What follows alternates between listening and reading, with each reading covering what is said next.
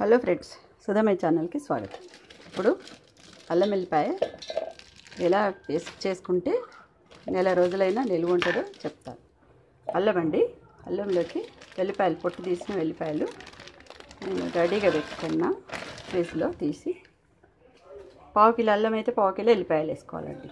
వేసుకొని ఇప్పుడు కొత్త వెల్లిపాయలు వచ్చినాయి. కొంచెం ఇలా బరకగా అంటే ఈ పొట్టు కొద్దిగా ఉన్నా పర్వాలేదు. మొత్తం నలిగిపోతుంది. కొంచెం పొట్టు ఉంటేనే చాలా రోజులు నిలువ ఉంటుందండి. మొత్తం ఫ్రెష్గా తీసేసినాం అనుకోండి ఇది. అంటే పై పొట్టు. ఫ్రెష్గా తీస్తే చాలా రోజులు నిలువ ఉండదు. దీంట్లోకి మనము కొంచెం నిమ్మకాయ. గింజలు పడనీయకుండా జాగ్రత్తగా. ఎందుకంటే నేను పావుకి కిలో లేవు పావు ఉంది నాకు. దానికి సగం నిమ్మకాయలో కొంచెం పిండుకుంటా. సగం నిమ్మకాయ వేయనండి తక్కువ వేస్తా. దీంట్లోకి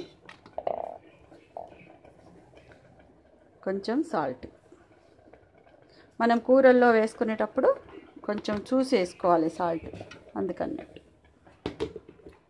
ఎందుకంటే నిమ్మరసం పడుతుంది సాల్ట్ పడుతుంది అందుకని. దీంట్లోకి కొంచెం పసుపు. మంచి రంగు కనబడుతుంది నిలువ ఉంటుంది. ఇలాగా.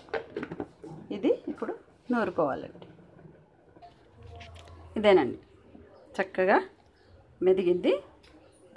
మెత్తగా నూరుకోవాలి. అంతేనండి. కొంచెం నిమ్మరసం కారణంగా ఉప్పు పసుపు కారణంగా చక్కగా నిలువ ఉంటుంది. కొంచెం మనం లైట్గా ఈ పై పొట్టు కొంచెం ఉంచితేనే చాలా రోజులు నిలువ ఉంటుందండి. నాకు తెలిసిన విద్య కాదు ఇది. నాకు ఆంధ్రాలో తెలిసిన వాళ్ళు ఉన్నారు.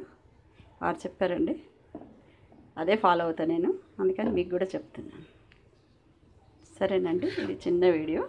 మీకు కూడా తెలియజేయాలని అంటే ఈ చిట్కా మీకు కూడా తెలియాలని చెప్పానన్నమాట. మంచిదండి.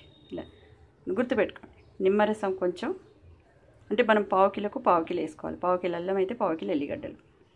నిమ్మరసం కొంచెం ఉప్పు కొంచెం పసుపు కొంచెం. ఇలా. మంచిగా మెదుగుతుంది. కొంచెం ఎక్కువసేపు తిప్పుకోండి అంతే. ఇలాగా.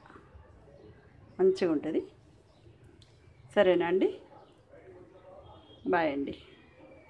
ఇదే చెప్దామని చిన్న వీడియో పెట్టాను. సరే మంచిదండి. ఉంటానండి. బాయ్ అండి.